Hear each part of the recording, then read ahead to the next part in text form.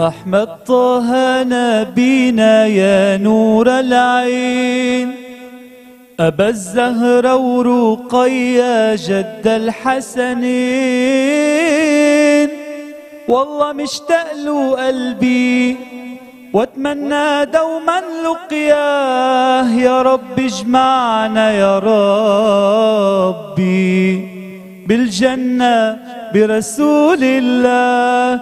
أحمد طه نبينا يا نور العين. نور العين. أبا الزهرة ورقيا جد الحسنين. جد الحسنين. أحمد طه نبينا يا نور العين. نور العين. أبا الزهرة ورقيا جد الحسنين.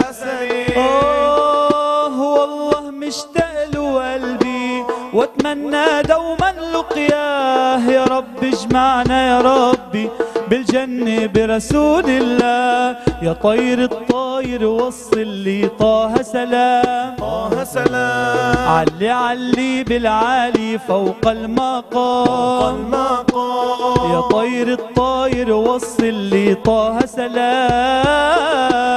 علي علي بالعالي فوق المقام. أحمد ساكن بطيبة. نور والله علينا هل من مكة للمدينة. شرف كل الأكوان. أحمد طه نبينا.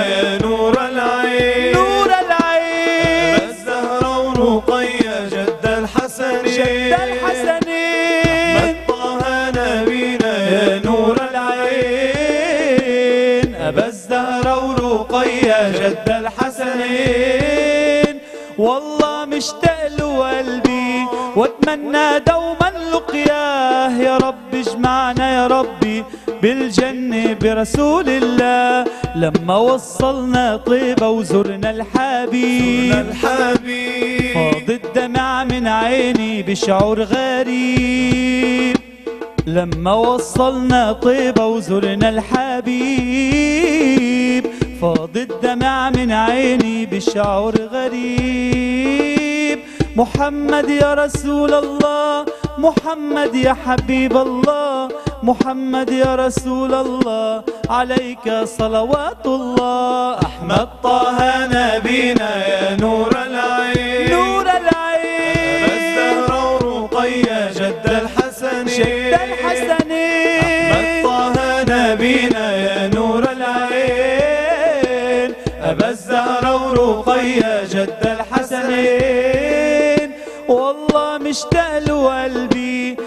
واتمنى دوما لقياه. يا رب اجمعنا يا ربي بالجنة برسول الله. شكرا. يعطيكم ألف عافية. بدي أذكر أنه هيدي الأنشودة هي من تلحين وكتابة محمد عيتاني المنشد محمد عيتاني والمشرف على الفرقة يلي هن معنا اليوم. يعطيكم ألف عافية. فرقة الهادي البشير. آه، بدنا اليوم نرحب كمان بشيخنا شيخ آه، بهاء آه، سلام. بدي أقول لك أهلا وسهلا فيك وينعاد. عليك؟ حضرتك معنا. اليوم كرمال نحكي عن بمناسبة ذكرى المولد النبوي الشريف آه، فأهلا وسهلا فيك. أهلا فيك اولا و اسمحي لي أول شيء أقول كل عام وأنتم بخير لكل اللبنانيين بمناسبة الأعياد يلي مرقت علينا وكل عام وأنتم بخير بمناسبة المولد النبوي الشريف وإن شاء الله دائما أيامنا بتكون وحدة ومحبة وأمان وسلام واستقرار. ودفى إن شاء الله يا رب. هلا اليوم كتير برد. سقعه عرفنا إنه عم بتشتي كتير. يعطيك ألف عافية. بدنا نعرف. اليوم عن هالنهار الكريم شو الأعمال المستحبة؟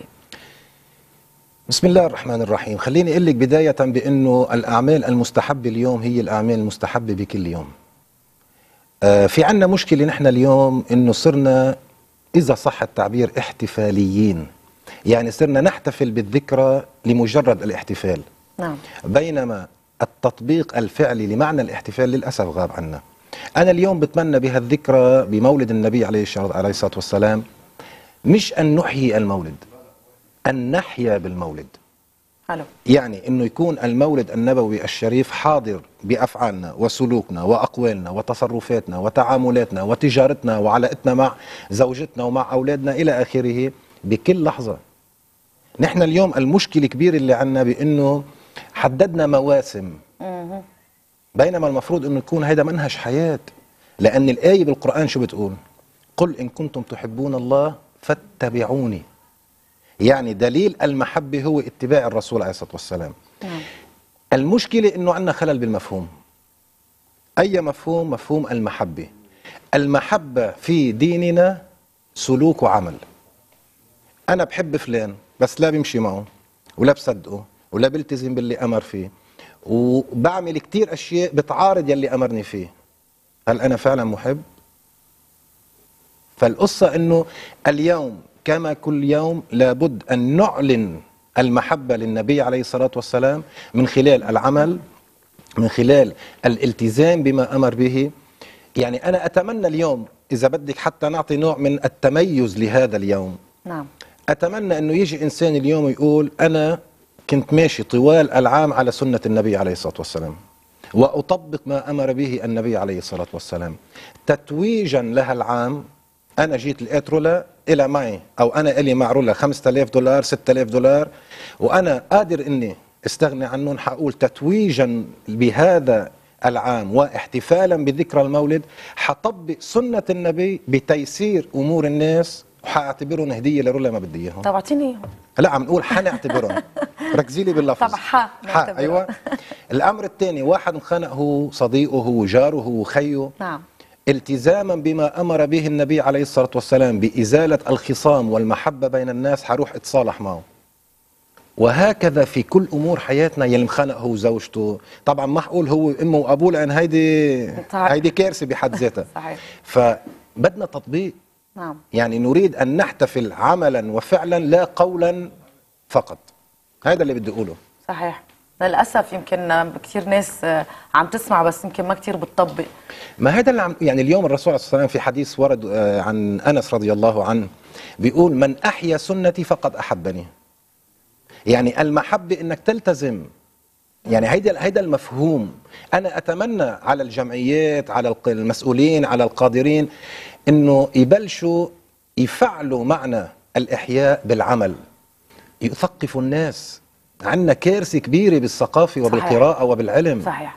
عندنا مشكلة كبيرة بالتعاطي اليومي والسلوك اليومي بالشارع. اليوم نزلي بالشارع. بقيادة السيارات بدنا نحكي بالتعامل على بين- الفرقاع الفرقاع شوفي لك شغلة. أنا أنا تستفزني هذه الظاهرة لعدة أسباب. يعني السبب الأول بأنه بتكوني قاعدة بالبيت مد- مد- مدو هيك مدور شوية كانون وكستنة وقاعدين مبسوطين مع بهذا. فجأة ولقت الحرب. نحن بنقول صار شيء كله شوفي-. أولاد بيكونوا ما هيدي هي وناس كبار بالعمر وناس مرضى. نعم. شوفي احتفال بمولد النبي. لا يا خيي هيدا مش احتفال. حتى براس السنة حتى بذكرى الميلاد هيدا مش احتفال. هيدا إزعاج. هيدا أذية. هيدا نوع من ترويع الآمنين الذي أمرنا بالابتعاد عنه الرسول عليه الصلاة والسلام. نحن بالإسلام ممنوع انه نخوف الناس. نعم. فكيف كيف جمعوا هالتناقضات؟ ما بعرف. المضحك المبكي إذا صح التعبير إنه يلي عم يشتري فرقاع ويولع ويفرقع يمكن مكسور عليه أربع خمس اقساط لأولاده بالمدرسة. صحيح. فعنا مشان هيك عم بقول لك للأسف. خلل بالمفاهيم. الاحتفال يعني الاتباع يعني السلوك يعني العمل يعني الفعل يعني أن تلتزم بسنة النبي عليه الصلاة هي والسلام. مشكله صارت ثقافة. ما مشان هيك عم أقول لك نحتاج إلى ثقافة. هلأ ما بدي يكون بين متشائم ولكن الواقع يقول بأنه لا أمل لدينا إلا بإعداد جيل جديد. من هلأ نبلش مع أولادنا التربية وفق الأصول العلم الصحيح الإيمان السليم. مزبوط مش مثل ما تعودنا ومثل ما شفنا أهلنا وإلى آخره. لا بدنا نحط اسس صحيحة مشان نوصل لمرحلة جيدة بإذن الله. طب كيف فينا نتشبه بأخلاق سيدنا محمد صلى الله عليه وسلم واللي هو بكل بساطة. إيه أعطينا كمان هيك لو قصة صغيرة. شوفي لا لك بكل بساطة. اليوم نحن مثل ما قلنا الآية إن كنتم تحبون الله فاتبعوني. طيب الرسول عليه الصلاة والسلام إجا قال بالحديث ليس المؤمن بفاحش ولا بديء ولا تعان ولا لعان. لما انزل على الشارع شوف هالإنسان إذا بده يقول لواحد أنا بحبك بده يحط 16 مسبة أول شيء يبقى هون في عندك مشكلة باتباع النبي. مزبوط. وهون شو بده يقول له؟ أنا بحبك. كيف إذا بده يتخانق معه؟ صح ولا لا؟ مزبوط. الأمر الثاني الرسول عليه الصلاة والسلام يقول خيركم خيركم لأهله. لما أشوف هالرجال كرمال الفتوش ناقصه شوية ملح تخانق هو ومرته وضربها وسبها وإلى آخره. يبقى هيدا متبع للنبي عليه الصلاة والسلام. لما أشوف الرسول عليه الصلاة والسلام عم بيقول طلب العلم فريضة وإنسان يصر على إنه ما يعلم أولاده تحت شعار إنه يا خي العلم ما حيفيدهم يشتغلوا ويطلعوا لهم قرشان يبقى هيدا متبع للرسول عليه الصلاة والسلام.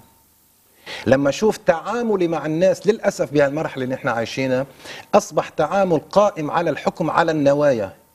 يعني أنا بدي أطلع فيكي بدي أعرف انت سيئة وانت عاطلة وانت كذا وانت كذا. الحكم بس المسبق. بس بس حكم مسبق بينما النبي عليه الصلاة والسلام لما تح- تحدث أشققت عن قلبه. نحن علينا بالظاهر إنسان محترم ملتزم. ماشي صح؟ أنا علي أقول إنه هذا إنسان محترم. أن نؤمن بإنه في اختلاف. لك يا جماعة يا كل المشاهدين الله سبحانه وتعالى أمرنا أن نحسن التعامل مع الناس جميعا. أما إما أن تكون معي وإما فأنت الأول كنا إما معي وإما ضدي. مزبوط هلأ إما معي وإما أنت كافر وإما أنت منه معترف فيك. لا. الرسول عليه الصلاة والسلام حط لنا شيء اسمه منهج حياة. بدنا نمشي على هالمنهج حتى نوصل للنهايه السعيدة. ما حدا يتخيل بأنه إذا عنده شقفة أرض زرعها بصل حيجي ياكل عنب آخر شيء. مزبوط لازم نزرع صح نحسن صح. رعاية الزرع حتى نحصد الحصاد الصحيح والذي نتمنى بإذن الله تعالى. نعم. كل ما يمكن أن نقوله بذكرى المولد النبوي الشريف هو اختصرناه بكلمة واحدة إن كنتم تحبون الله فاتبعوا تابعوه هيدا بكل بساطة يلي بيحب الرسول عليه الصلاة والسلام يلي يؤمن بالرسول عليه الصلاة والسلام يلي بده شفاعة الرسول عليه الصلاة والسلام يلي بده يكون من أتباع النبي عليه الصلاة والسلام يلتزم بما جاء به. هلأ ناكل حلو ناكل معكرون ناكل ما بعرف شو ماشي. ولكن أن يكون الاحتفال بالمولد فقط أنه ناكل معكرون ونضيف ونعلق ونفرقع أو لا. بكون تقاليد إنه الناس بيقولوا بيكون صفرة بيضة هلا هيدي تقاليد لا ش- ما مشكلة فيها ولكن المهم أن تكون تابعه للأصل اللي هو. أيوه. يعني اليوم تخيل تلميذ قعد سنة بالجامعة خلص الجامعة وراح عمل احتفال بانتهاء الموسم وهو ساقط نحن هيك عم نعمل للأسف. للأسف. للأسف هيك عم نعمل شيخنا يعني. بدنا نعرف هيك رسالة أو نقول رسالة للشباب بهالأيام يلي آه، طبعا يعني الكل بيشهدوا بيقولوا إنه عم تكون صعبة. أيام صعبة طبعاً. على الكل. إن كانوا شباب أو كانوا كبار بس إنه الجيل هلأ الموجود. شوفي الجيل والكبار السن والصغار والشباب والكل. بدي أقول لهم النبي عليه الصلاة والسلام لم يمر لحظة بحياته كان فيها متشائما. يا جماعة تفائلوا بالفعل. لك سنة النبي الابتسامة. مظبوط. سنة النبي أن تلقى أخاك بوجه. هيدي المشكلة شيخ. تبسمك في وجه أخيك. صدقة. تفاءلوا. والله مهما صار بهالدنيا لن يكون إلا ما كتب الله. مهما صار من حروب من أزمات من اقتصاد من ما حيصير إلا يلي الله سبحانه وتعالى كتبه علينا. طيب هذا الأمر إما أن نستقبله بابتسامة ورضا وعمل على تحسين الواقع وإما بدنا نقعد نقول مؤامرة أسباب ما بعرف شو ما عم بيخلونا وحنضلنا زعلانين. لا تفاءلوا اسعدوا بحياتكم بسنة النبي عليه الصلاة والسلام حتى توصلوا للنهاية ما في شيء اسمه تشاؤم ما في شيء اسمه مستحيل ما في شيء اسمه صعب. بدك تشتغل ولو طول حياتك. العمل بحد ذاته قيمة. طبعاً. اشتغل النتائج على الله سبحانه وتعالى. عيشوا حياتكم بسنة النبي عليه الصلاة والسلام. عيشوا حياتكم بالقرآن بالأخلاق بالأخلاق. اولا. حطي لي 15 خط تحتها. بالأخلاق. وصدقوني لن نكون إلا من السعداء بإذن الله تعالى. وإيجابيين. طبعا طبعا. لابد لابد من الإيجابية التفاؤل. دائما نستبشر خيرا بإذن الله تعالى. بإذن الله. بإذن شكرا الله. لك. نحن دائما. نفتخر فيك وقلبنا يا رب. بيكبر طبعا بكلامك. كنت صرت من أهل البيت أصلا من الله زمان يخليك أنت يا من رب وبدي. أعيد كل الزملاء يلي موجودين وكل الساده المشاهدين وإن شاء الله بتكون سنة خير إن شاء الله. ومحبة وأمن وأمان وأستقرار. ورزق وكل شيء بإذن الله إن شاء الله. وعليك إن شاء الله. الله يخليك يا رب. يعطيك بدي احيي الفرقة كمان. الله يعطيهم العافية. أطربونا بهالصوت الجميل إن شاء الله. يعطيكم العافية. الله يخليك. شكرا. شكرا لك. صلى الله على محمد. صلى الله عليه وسلم. صلى الله على محمد. صلى الله عليه وسلم. ومدحت بطيبة الله ودعوت بطه الله. الله. ومدحت بطيبة طه الله. ودعوت بطه الله. أن يحشرنا أواها بلواء رسول الله. صلى الله على محمد.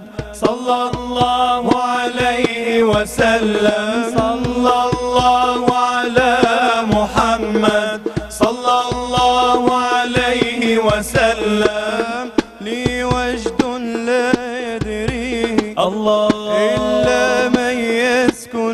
hein?